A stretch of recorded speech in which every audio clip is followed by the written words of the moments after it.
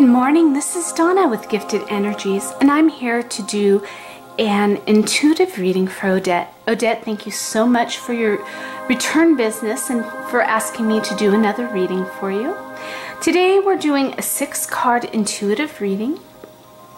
You have asked me about a question that um, has been affecting you for 11 years. You've told me that this has to do with medical. I cannot by law give you any medical advice or prescribe anything to you. I can give you my intuitive guidance and my feelings on the matter with suggestions to follow up with your doctor. What I'm going to do is to shuffle the deck until I feel an energy shift or I feel that the cards are ready to be read.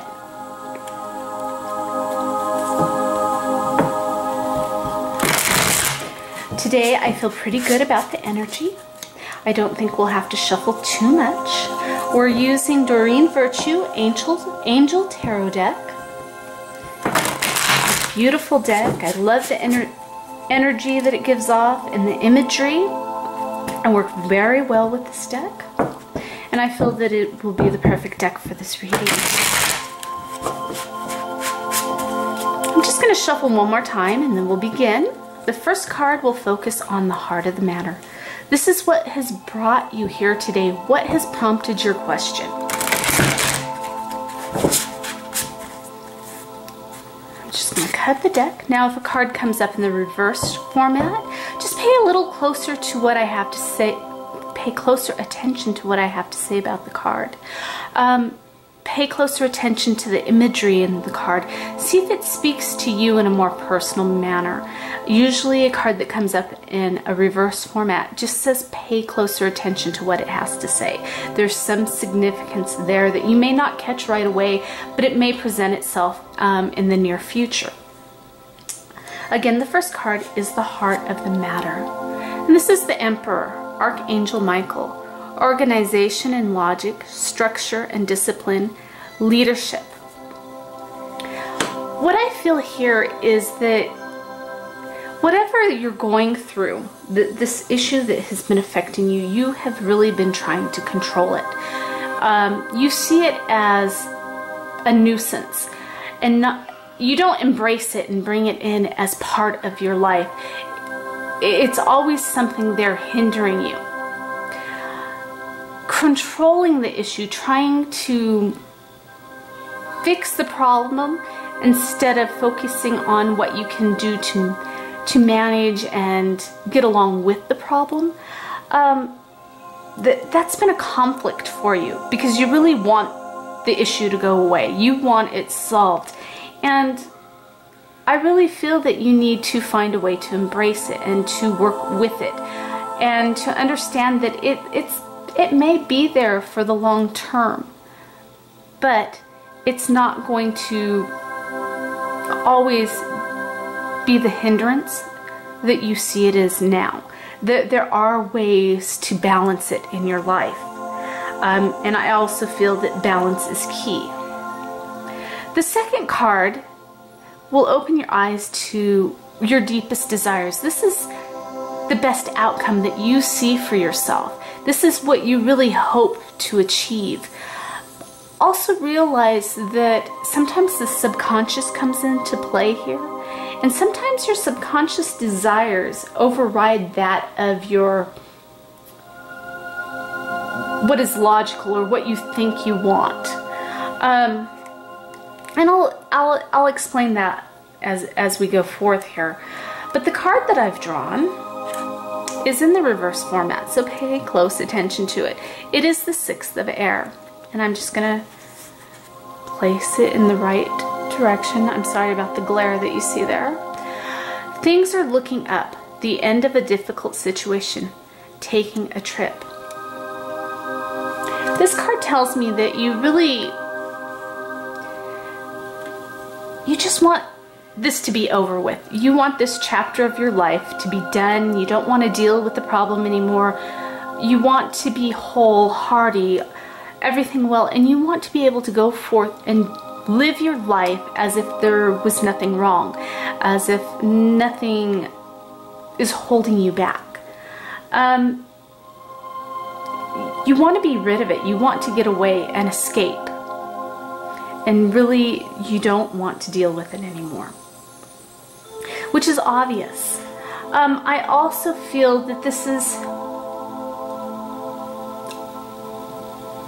this is what you feel on the out, outskirts of your your conscious mind.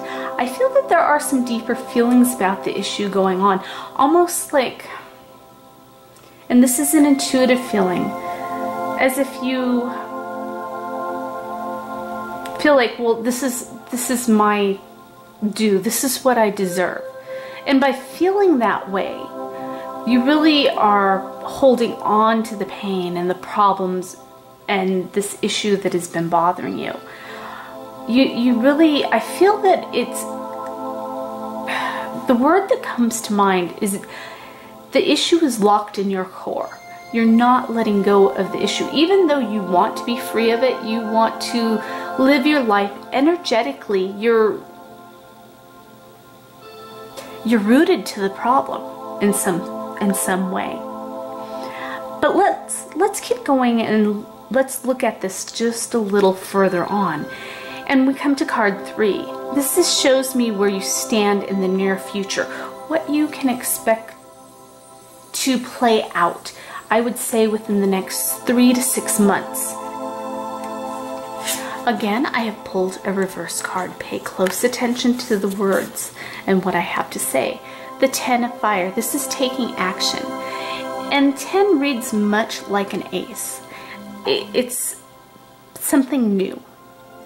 Um, it's a new beginning, a fresh start, but letting go of what is troubling you, letting being free. The, the worst is over.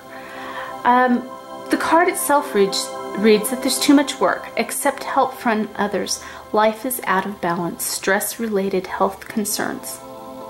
Okay, this is very important. Focus, I feel that you should focus on that stress-related health concerns.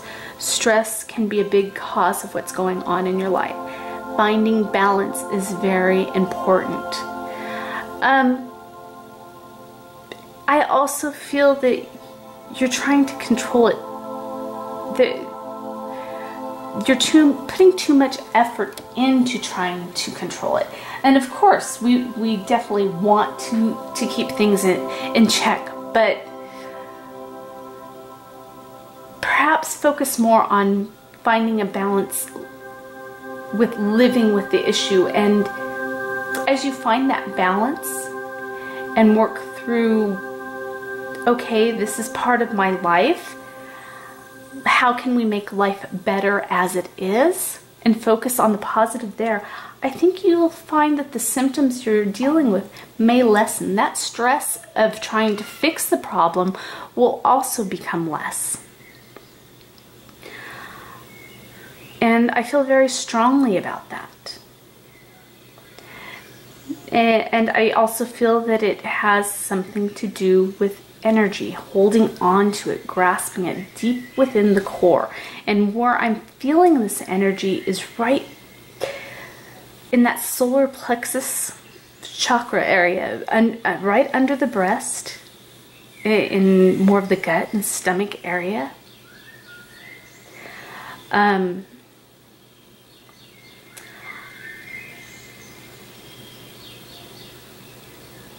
I'm also being told that you need to find your foundation. Plant, plant your feet firmly in the ground. This is just something that is coming through intuitively to me. Foundation, finding your foundation and planting your feet firmly in the ground. Knowing where you stand is very important.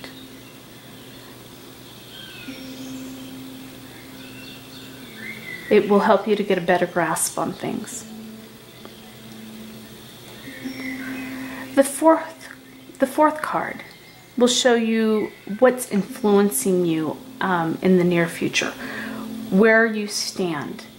Um, and just before I pull that card, I'm picking up on one other thing. When it comes to dealing with your your doctors and dealing with anything health related, relating your body relating to your body.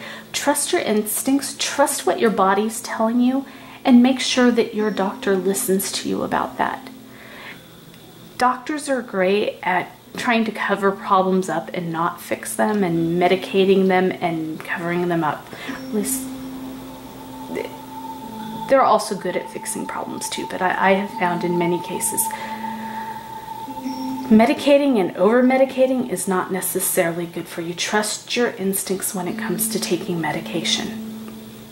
Trust what your body's telling you and then relate that to your doctor. Tell your doctor how it's affecting you, how you feel, your thoughts on this, and explain to them what's going on. Don't leave anything out. If you have to, sit down and make a list.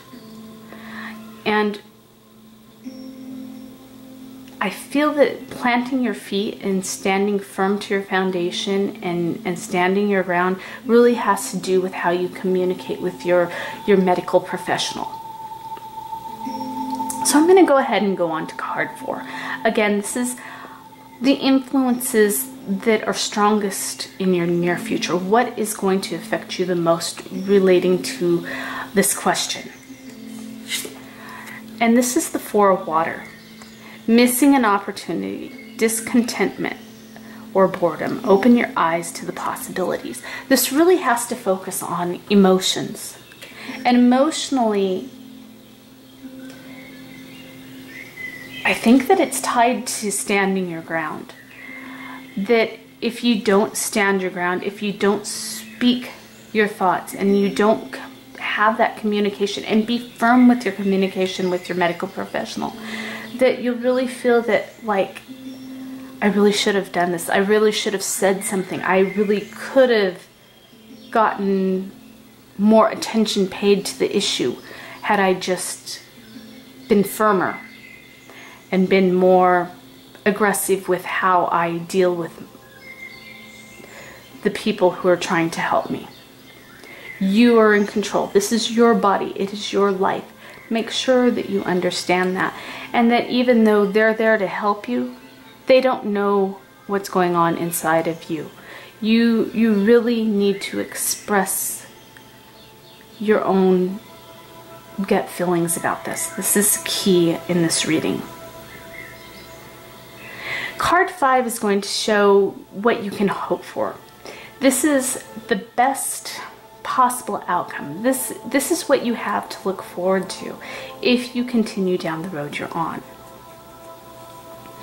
Um, I also want to say with the question you were asking me about medication, this, if you choose to go forward with um, speaking to your doctor about discontinuing this, um, I really feel that this is how it may affect you. This this card is really going to give you key answers to that question that you had. And this is the Four of Air. Time to rest or take a vacation. Allow more time before making a decision. Meditation may provide answers. Don't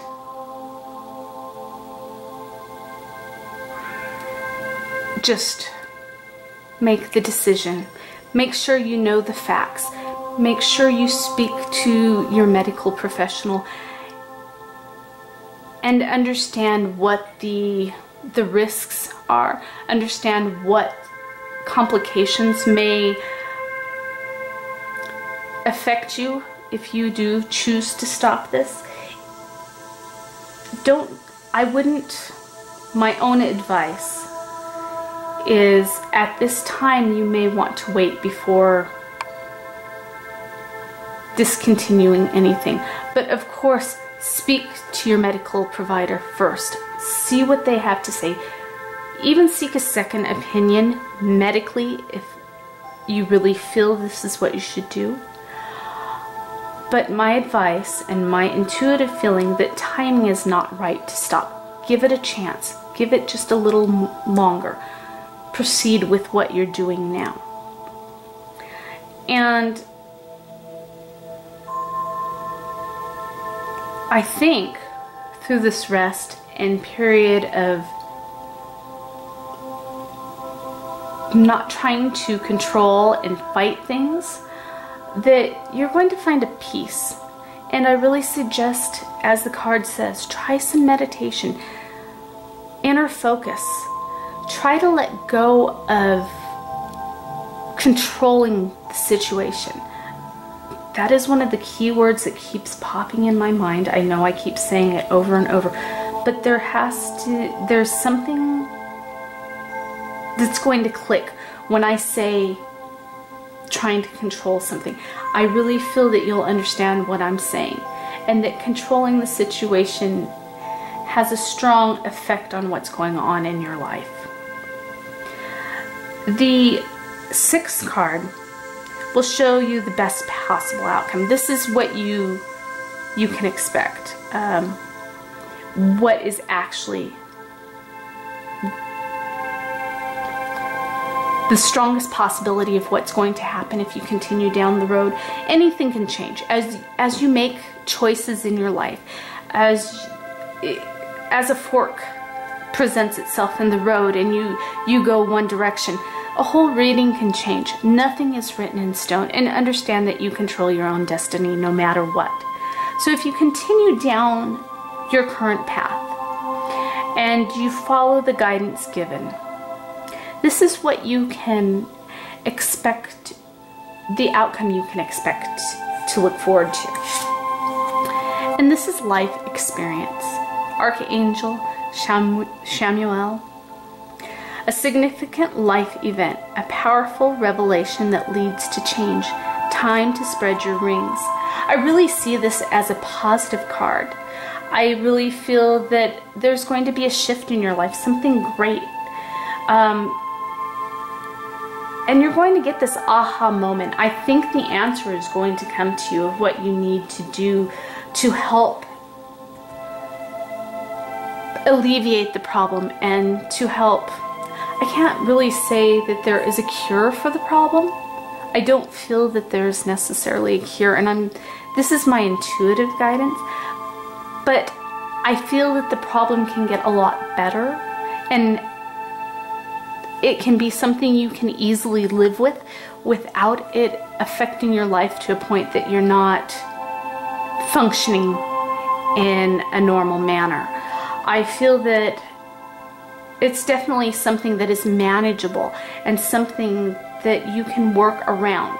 But trying to control the situations and trying to control and fix it isn't necessarily the answer. Um, I think trying to live with it and make it manageable so that you can live a quality life and live life as you expect and hope to live, I think that that is a definite, definite outcome and possibility um, where it won't affect you as bad or where it may not even affect you at all. But the key is letting go. The key is not trying to control it. And I really feel through this reading, as you asked me if you should, for my guidance about stopping, one, speak to your medical professional. Only a medical professional can give you that advice. My intuitive feeling is that you should wait, that this is not the time to stop things. Give it a chance, give it a little longer. Um, and continue doing what you're doing.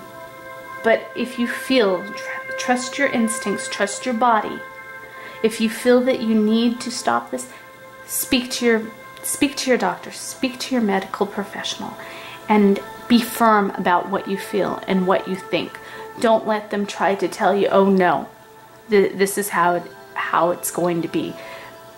They don't control your body, you do. And realize that. They can give you advice, they can definitely help you. But remember, it's your, your life that you're living in your body. So be firm on your own thoughts and your own gut. Your, your body will tell you what it needs. Also, if you can find time to meditate I, and really do some introspection, um, inner work, I think this will be key to finding answers as well. Um, and will give you key answers on how to manage the problem and deal with it, what steps to take, how you can handle things and live a quality life. Now I'm going to go ahead and shuffle the deck here. This is the Goddess Guidance deck. And this is just going to be additional guidance for you. What, what your guides and what the universe wants you to know about the situation.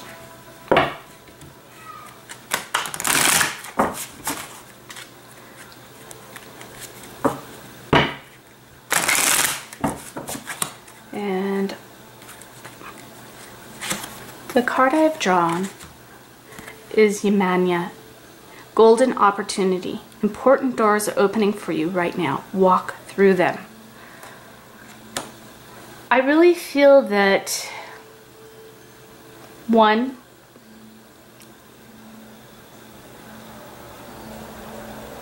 an opportunity is going to present itself.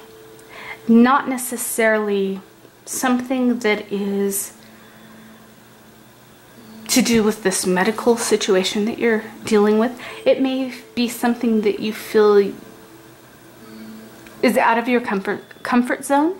It may be something you're unsure of. But I really feel when that door opens, you're going to know about it. You're going to understand that, okay, it doesn't necessarily feel like something I want to do at the moment, but trust me, if it's an opportunity and you know it's an opportunity leading to better things, emotionally, this is where the trigger is going to be. The trigger is going to bring you joy, happiness. it's going to be a balm to the soul. This is going to be something very positive for you. Um, maybe even a retreat of some sort, getting away in, in some aspect.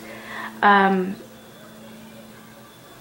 if you have the opportunity to go somewhere, go, do it, experience it. It's going to be key to finding happiness. And through this happiness, I think that you're going to find that your problem lessens as you find that joy within, as you spiritually become lifted up and you feel your energy levels. We all have reside at certain energy levels. As we raise our vibrations, we get closer to enlightenment and finding balance in our life. And I think through finding that balance and finding that place of, it's like this aha, here I am, now I understand. That that's going to also bring key into finding relief through your problem. Don't let opportunities pass you by. Jump on them, take them, even if you're a little unsure about it in this case, in the near future, if some, a door opens, I really feel that you should go ahead and walk through and see where it leads. Thank you so much for giving me the opportunity to do this reading for you. I hope that I've given you the guidance that you're seeking. If you have questions or if it's unclear to you of what I'm trying to say and trying to convey, please email me, message me through Etsy. I will be happy to clarify and go into greater detail for you. Brightest blessings and have a wonderful day. Bye bye.